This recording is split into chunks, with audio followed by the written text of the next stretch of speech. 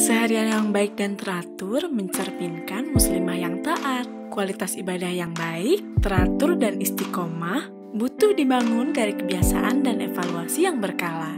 Kini hadir Muslim Planner lebih taat. Sebuah planner di mana kita dapat merencanakan dan mengatur ibadah kita agar menjadi lebih tertata dan agar bisa melakukannya dengan istiqomah.